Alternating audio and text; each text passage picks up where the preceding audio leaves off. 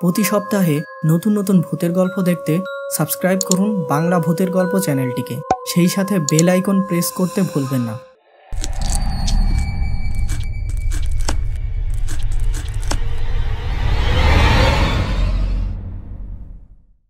শীতের সন্ধ্যা। এলাকার পরিচিত এক চায়ের দোকানে বসে আড্ডা দিচ্ছি। আমি আশিক, আর আমার পাশে বসে আছে আমার খুব কাছের বন্ধু রঙ্গন। আর আমাদের সামনে বসে যিনি চা পান করছেন, তিনি আমার পাশের বাসার রুদ্র ভাই। তিনি সদ্য মেডিকেল পাশ করে একটি সরকারি হাসপাতালের মেডিকেল অফিসার পদে নিয়োজিত আছেন।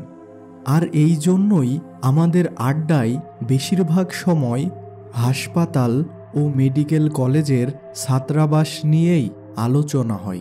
কিন্তু আজকে এক ফোন কল আমাদের আলোচনার টপিক নির্ধারণ করে দিল। সালাম আলাইকুম স্যার। আচ্ছা ঠিক আছে। আমি কাল সকাল সকাল সেখানে উপস্থিত থাকব। কি ব্যাপার? জরুরি কিছু? আরে নতুন একটা লাশ এসেছে। তার পোস্টমর্টম হবে সকালে তাই আমাকে সেখানে থাকতে হবে। মানে লাশ কাটা ঘরে উপস্থিত থাকতে হবে। লাশ কাটা ঘর? ভয় করে না আপনার? ভয় করবে কেন? এ কি নতুন কিছু নাকি আমার জন্য? মেডিকেলে পড়ার সময় আমি এই হাত দিয়েই লাশ কেটেছি। আর এখন নিজে হাসপাতালের মর্গের দায়িত্ব পালন করছি। ও বিশাল ব্যাপার তো। রুদ্র ভাই যেন একটু গর্ব অনুভব করলেন। আর জোরের সাথে খালি চায়ের কাপটা টেবিলে রেখে চোখ বন্ধ করলেন। আচ্ছা ভাই আমার না খুব লাশ কাটা দেখার ইচ্ছা। আপনি কি কোনোভাবে ব্যবস্থা করে দিতে পারবেন? রঙ্গনের কথাতে আমিও সাই দিয়ে বললাম হ্যাঁ ভাই আপনি তো লাশ কাটা ঘরের দায়িত্বে আছেন আমারও খুব ইচ্ছা একটু ব্যবস্থা করুন। আরে কি বলিস তোরা? এ তো অসম্ভব। আমার স্যার এই ব্যাপারে কোনোভাবেই রাজি হবে না। ভাই দয়া করে একটু দেখেন না খুব ইচ্ছা আমাদের শুধু একবার। আচ্ছা ঠিক আছে আমি চেষ্টা করে দেখব।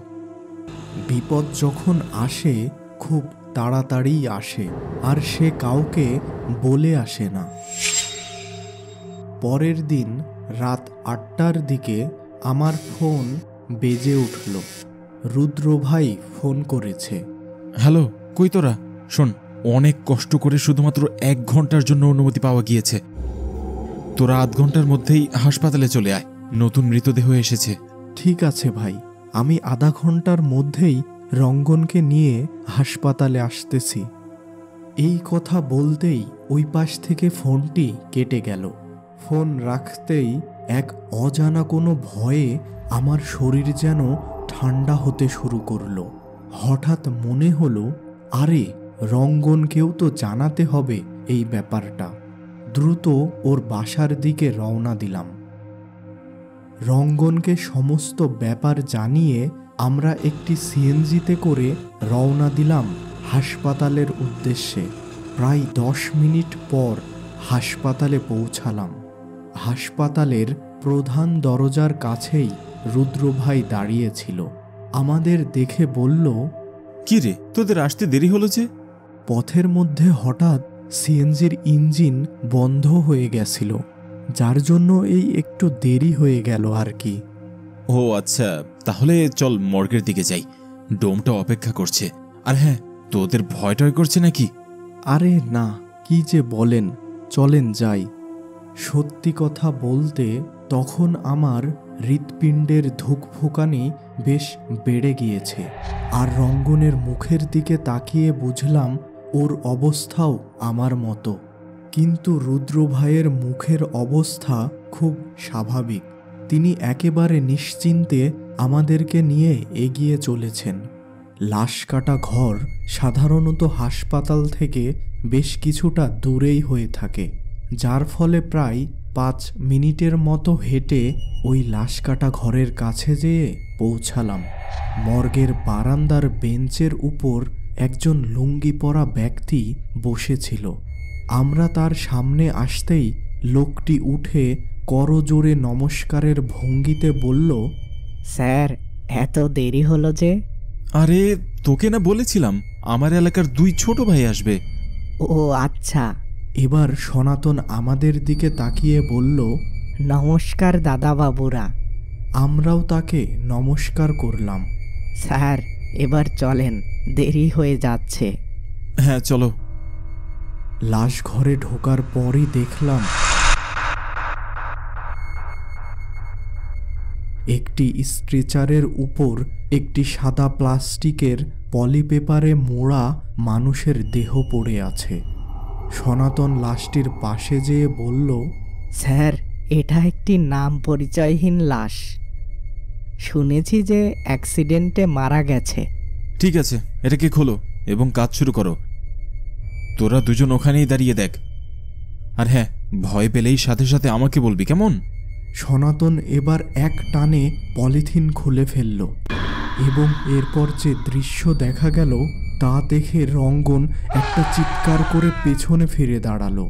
লাশটার কি বিদঘুটে অবস্থা? চেহারা প্রায় থেতলে গেছে, আর চোখের স্থানে দুইটি কালো গর্ত। আর যতটুকু শরীর দেখা যাচ্ছে, তা সম্পূর্ণ রক্তে মাখা। এই দৃশ্য দেখে আমি মনে মনে ভাবলাম লোকটা কি জানতো তার শেষ বিদায় এমন বাজে হবে? এদিকে সনাতন একটি ধারালো অস্ত্র দিয়ে তার কাজ শুরু করে দিল। আর তার এই কাজ করার ভাব দেখে মনে হচ্ছে যেন তার কাছে এসব নিছক ছেলে খেলা মাত্র।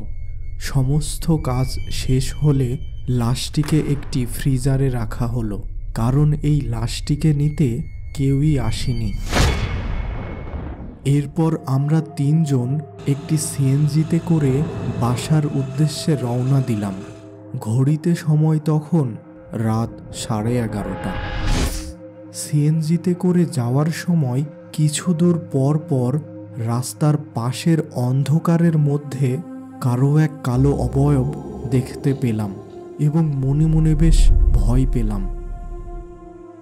প্রথমে রঙ্গনকে বাড়ি পৌঁছে দিয়ে তারপর আমাকে বাসায় এগিয়ে দিয়ে রুদ্রদা নিজের বাড়ির দিকে রওনা দিল। পরের দিন সকালবেলা ঘুম ভাঙল রঙ্গনের ডাকে। উঠে বসে একেবারে হকচকিয়ে গেলাম রঙ্গনকে আমার রুমে দেখে। দোস্ত আমাদের বড় ভুল হয়েছে। কাল রাতে আমি ভীষণ ভয়ঙ্কর একটি স্বপ্ন দেখেছি। রঙ্গনের মুখ থেকে তার স্বপ্নের কথা শুনে আমি একেবারে অবাক হয়ে গেলাম কারণ এই একই স্বপ্ন আমি আজকে রাতে দেখেছি। এবার আমরা দুইজন দ্রুত রুদ্রদার বাড়ির দিকে রওনা দিলাম। দরজা খুলে রুদ্রদা বলল কি রে তোরা? এত সকালে? ভিতরে আয়। না ভাই এখন ভিতরে আসতে পারব না। তার থেকে চলুন হরেনের চায়ের দোকানে যাই। আচ্ছা চল। সকাল সকাল হরেনের দোকানে চা পান করা যাবে। এবার আমরা তিনজন একসাথে রওনা দিলাম হরেনের চায়ের দোকানের উদ্দেশ্যে। আচ্ছা এবার বল তোদের কি হয়েছে? দুজনকে দেখেই তো বেশ চিন্তিত আর ভীত মনে হচ্ছে। কাল রাতে নিশ্চয়ই ভালো ঘুম হয়নি তাই না? আমি জানতাম হবে না। প্রথমবার এরকম নিজের চোখের সামনে লাশ কাটা দেখলে কারোরই ভালো ঘুম হয় না? না ভাই ব্যাপারটা একটু অন্য রকম কাল রাতে আমরা দুইজন একেবারে হুবহু একই রকম স্বপ্ন দেখেছি। আর এমনটা তো সাধারণত হয় না। আচ্ছা ঘটনাটা আমাকে সম্পূর্ণ খুলে বল তারপর আমি দেখছি কি করা যায়। কাল রাতে হাসপাতাল থেকে আসার পর বাসায় যেয়ে রাতে আর কোনো প্রকার খাবার না খেয়ে বিছানায় শুয়ে পড়ি। চোখে প্রথমে ঘুম আসতে ছিল না। তবে বেশ কিছু সময় পর ঘুমিয়ে গেছিলাম। হঠাৎ মধ্যরাতে ঘুম ভেঙে যায়। তখন আমি স্পষ্ট শুনতে পাই যে আমার ঘরের মধ্যে কে যেন দৌড়াদৌড়ি করছে। আমি চোখ বন্ধ করে শুয়ে থাকলাম। হঠাৎ মনে হলো আমার শরীরের উপরের কাঁথাটা কেউ যেন টানা শুরু করেছে। আমি চোখ খুললাম এবং সামনে দেখলাম ওই লোকটা, যাকে গত রাতে মর্গের টেবিলের উপর দেখেছিলাম। হঠাৎ লোকটি আমার দিকে তাকিয়ে বলল, কি রে, কেমন লাগল লাশ কাটা দেখতে? খুব মজা, তাই না? অন্যের কষ্ট দেখতে খুব আনন্দ। আমি তোদের কোনো ক্ষতি করতে চাই না, কিন্তু তোদের আমার একটা ইচ্ছা পূরণ করতেই হবে। আমার মৃত্যু খুব কষ্টে হয়েছে, একেবারে আকর্ষাত আর এই শহরে আমার কোনো আত্মীয় নেই যে তারা আমার দাফনের ব্যবস্থা করবে। তাই তোদের আমার লাশটিকে আমার গ্রামের বাড়ি সিরাজগঞ্জ জেলার নয়নপুরে নিয়ে যেয়ে সমস্ত নিয়ম মেনে দাফনের ব্যবস্থা করতে হবে। আর এর অন্যথা হলে তোদের কাউকে ছাড়ব না আমি। হ্যাঁ ভাই, আমিও ঠিক এমনটাই। কাল রাতের স্বপ্ন বা বাস্তবেই দেখেছি। রুদ্রদা চোখ বন্ধ করে কি একটা ভেবে নিয়ে বলল আচ্ছা ঠিক আছে। আমি আজকেই ওই লাশটাকে নিয়ে তার গ্রামের বাড়ি পৌঁছানোর ব্যবস্থা করব। আপনি একা কেন? আমরাও আপনার সাথে যাব।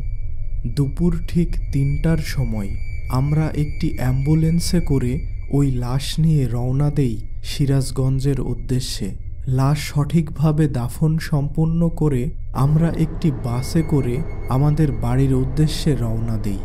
গভীর অরণ্যের মধ্য দিয়ে বাস ছুটে চলেছে।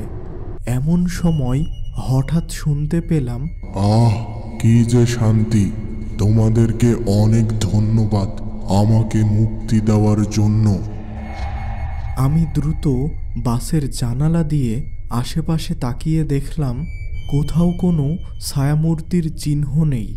আর এই কথাগুলো হয়তো আমি আর রঙ্গন ছাড়া বাসের আর কেউ শুনতে পাইনি। বন্ধুরা, আজকের প্রশ্ন হলো, আপনি কি কখনো লাশ কাটা ঘরে গিয়েছেন? আর যদি যেয়েই থাকেন, তাহলে কি আপনার সাথে কোনো প্রকার অস্বাভাবিক ঘটনা ঘটেছে? এই ভৌতিক গল্পটি পাঠিয়েছে প্রীতম পাল। তার একটি মিউজিকের চ্যানেল আছে লিঙ্ক থাকবে প্রথম কমেন্টে। অবশ্যই সকলে তার চ্যানেলটি ভিজিট করবেন।